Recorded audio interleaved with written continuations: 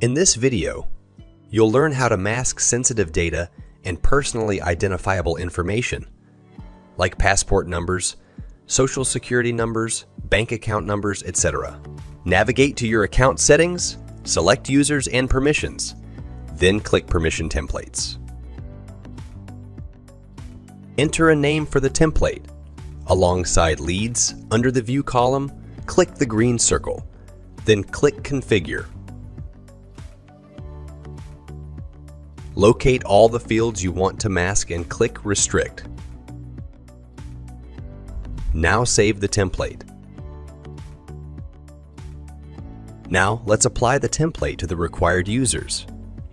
You can apply the template directly to individual users, or you can apply it at the role level, or you can apply it at the sales group level. When the user logs in, all the sensitive fields restricted via the permission template will now be masked